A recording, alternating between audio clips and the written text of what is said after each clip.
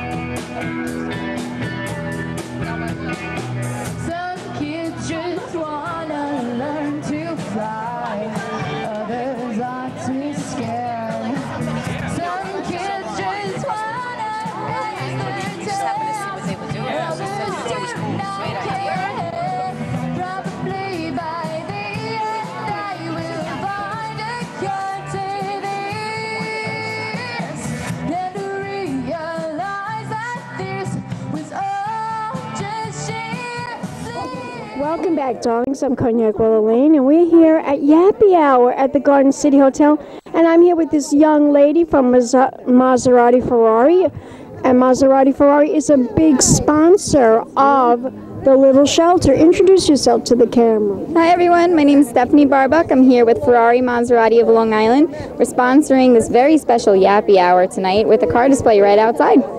I see, and your car is magnificent, a gorgeous convertible right outside, brand new and ready to go. Now, you've been a sponsor of Little Shelter for a very long time. Yes, we have actually. We have a very nice long history of events. We've done doggy fashion shows. We sponsor their Halloween event every year. Uh, we do a lot of things. We love to keep Little Shelter involved. We have them as the beneficiary of a lot of our events. And of course, the big event is the Halloween party that everybody from all over New York comes to because it's a kick ass Halloween event, the best all over New York. And you are a major sponsor of that event. Yes, we are. We absolutely love being a part of that every single year. We love it. Anyways, if you want to find out more information about Maserati, Ferrari, where can we go? Sure. Go to www.experienceautogroup.com. You'll find our website for Ferrari Maserati of Long Island as well as our other dealerships. Terrific. Well, thank you so much, darling. Give me a kiss. Mwah. Thank. Oh, wait, yeah, we'll be back in a moment with more interviews right here at Yappy Hour. Keep watching. Peace, champagne kisses. Never believed till I saw you. Could have been your Welcome back, darlings. I'm Cognac Wellerlane, and I'm here at Yappy Hour at the Garden City Hotel. And I'm here with this lovely lady who is a big sponsor of Little Shelter, and she's going to introduce herself to the camera. Sure. Hi, I'm Lisa Hendrikson. I work at 1-800-Flowers.com over here in Carle Place, New York. Now, I understand that you donated all the flowers here for this particular event as well. Yes, we donated all the flowers. We do pretty much for all of their events. We've been working with Little Shelter for the past two years.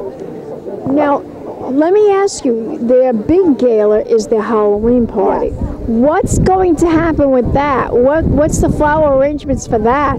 I, you know, we've done it two years in a row. The first year we did, um, we did these dog arrangements, and we made them all crazy different characters for Halloween. Last year we went more with kind of a, uh New Orleans kind of theme and did red roses. Not sure about what we're going to do this year, but we'll find out from Tito what the theme is. Oh, we we love that event. Oh, so do I. It's my favorite event. Now, let me ask you, um, why did you, how did you get involved with Little Shelter? Tell my audience the story. Sure, it's a great question. So, two, three years ago, 1 800 Flowers um, had asked all the employees over the summer and said, you know, we're not busy during the summer. We're past Mother's Day, we're past Valentine's Day. We want to do something where our employees go out in the community and give back.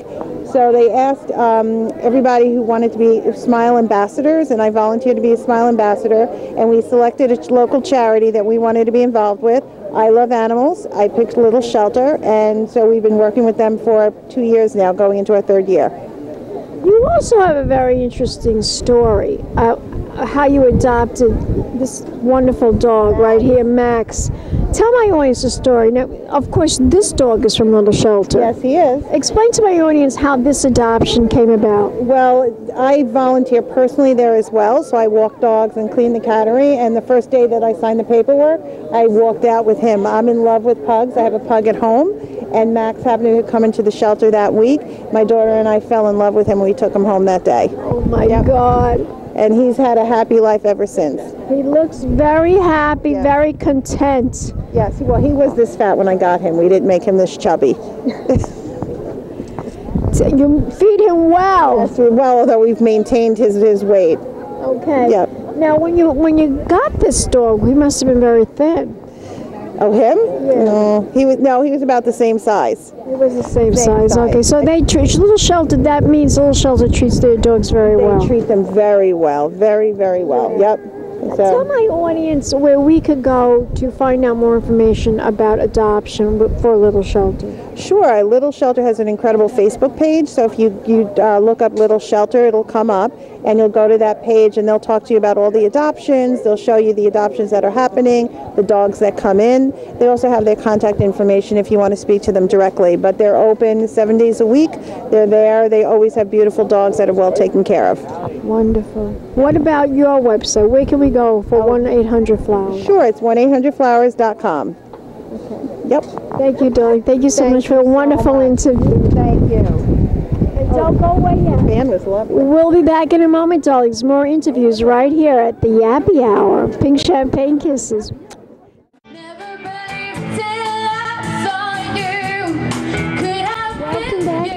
I'm Cognac Wellerlane, and I'm here with Stephanie Mattera, and she's a big supporter of Little Shelter. Tell my audience how you became involved with this organization. Well, I'm the spokeswoman for the Mayor's Alliance for New York City's Animals, and we're a coalition of 150 plus rescue groups in the greater New York City area, and Little Shelter is one of our alliance organizations. My goodness. Yeah, so it's a great group. Um, Tito Cologne, I love him. I love him, and David Seeley. They do so much for animals in the community, and they do wonderful events like this where they feature adoptable animals and really bring everyone together.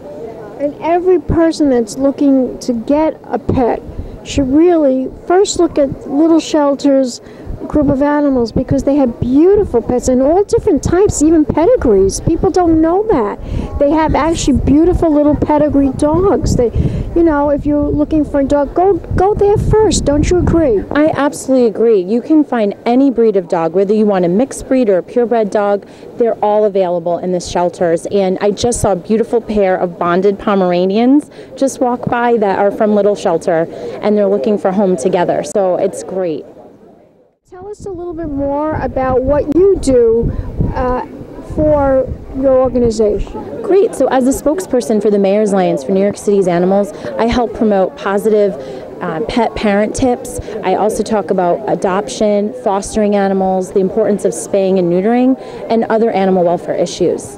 Can you tell my audience some pet parent tips? Yes. Well, we all know we're in the summer, it's hot out, so never leave your dog in the car, as we all know. Luckily, it's becoming a law in a lot of states where now people can actually rescue the dogs and break into the vehicles, but a dog can die within a matter of minutes in a hot car. Oh my God. Yeah, so if you're I can't believe that people do that. I can't believe it either. I take my dogs everywhere and I roll them in a stroller. I, wouldn't even, I know, me too. I wouldn't even leave my dog. I wouldn't leave my dog even in the winter time in the car. No, I in any type of extreme heat or cold, you would never leave your animal in the car. So that's that's one pa- parent tip. Always bring them with you or leave them home in the air conditioning if you can't bring them in the store. What's a what's a good pet parent tip for an elderly dog? I have a Yorkie that's like she's like 12 years old. She's blind. What Yeah. can I do to make her life a little easier? Well, elderly dogs make great pets. They're just very low key. So, letting her have a lot of time to rest um, and get her sleep and just give her love. I mean, animals can live to be 15, 16 years old. I had a dog that lived to be 18. That's how. You did? Yes, my people say you must. You really took very good care of your dog for her to live to be 18 years old. That's incredible. Well, I don't. I think you should share some pet parent tips because what did you do to make your dog live that long? Just like you said, I loved her to death, and that's why she lived as long as she did. She didn't want to die. She just wanted to be with me all the time. Oh, that's so beautiful. You're never ready to say goodbye, no matter how old they are. Never, never. Tell my audience the website. Where can we go to find out more information? If you want to learn more about the Mayor's Alliance, you can visit www.animalalliancenyc.org. Very nice. Thank well, you thank for you so me. much, darling. Give me a kiss. Don't go away yet. We'll be back in a moment with more interviews right here at the Yappy Hour at the Garden City Hotel. Please champagne kisses. Never believed till I saw you. Could have been you. Welcome back, darlings. I'm Cognac Wellerlane, and we're here at Yappy Hour right here at the Garden City Hotel. And I'm here with this gorgeous blonde who is a big supporter of Little Shelter. Introduce yourself to the camera, doll. My name is Laura Petrocelli, and I'm actually, my company is called Couture Concepts New York, and we've been sponsoring and supporting Little Shelter for about 10 years now. So, 10 years, 10 marvelous years. Tell my audience a little bit more about Contour co- Concepts. Couture Concepts, we, Couture Concepts, excuse me. We actually do um, couture event planning and wedding planning, as well as marketing. So, we try to think outside of the box a little bit when it, whether it's a wedding we're doing, or a charity event, a fashion show, um, or a corporate event, and we kind of put the whole package together and make everything as personalized and couture as possible. Now, do you do uh, most of your business is this on Long Island or is it in Manhattan? Or? Tell my audience. It is. Um, we're actually based in Huntington, uh, Long Island, but we go all over the place. We're going to Denver, um, Aspen, Miami. Um, so we travel all over the place for events and weddings. Wow, that's wonderful that you do all that. Yeah. So you so you're really international. You're really national. National for now, hopefully international soon. And, um, you know, we just keep everything's word of mouth. We don't advertise. We're kind of on the higher end of the spectrum, so we really cater to a luxury type of marketplace. Um, I, as you know, I used to be with uh, Experience Auto Group for the past five years. Um, You did marvelous work there. Thank you. so, to say the least, I was always kind of intertwined in the luxury marketplace, whether it was with Ferraris and Maseratis or luxury weddings and events. I want to see you in the Hamptons, darling. I want to see you do some events in the Hamptons. We do, but you'll have to invite me to some of your upcoming events. Okay, I will. I will. I want you to tell my audience where we could go to find out more information. What is the website of Couture Concepts? so, our website is www.coutureconceptsny.com. Now you're having before we finish this interview, you're also having another event happening. Tell my audience about the gala that's going to be taking place on August 8th. It's actually August 9th. Um, August 9th. it's at Bethpage Polo at the Park, which is actually one of our clients. Um, as of this year, we've taken over all the events and marketing for Bethpage Polo, um, which happens every Sunday from 2 to 5 p.m. at Bethpage State Park, right in Long Island. So if you're looking for something fun to do, it's a great time um, for everybody and kids of all ages also. But actually, on August 9th, we're going to be raising money for the Carol M. Baldwin Foundation which raises money for breast cancer research. Um, so it's actually going to be a ladies' day. So we'll have spas, um, jewelers, and clothing pop-up boutiques. The Pink Link in Huntington. Um, so we're going to have a lot of stuff going on. My dog is going crazy. Um, Sees a lot of puppies that she wants to play with. yeah, I think I think he sees his future girlfriend. Tell Laura, tell my audience one more time the website. So my website is coutureconceptsny.com, and if you wanted more information about Ladies' Day at Bethpage Polo, they can go to bethpagepolo.com. You're gorgeous. Thank you. And we'll be back in a moment, darlings. More interviews right here at Yappy Hour at the Garden City Hotel. Keep watching. Peace, champagne kisses.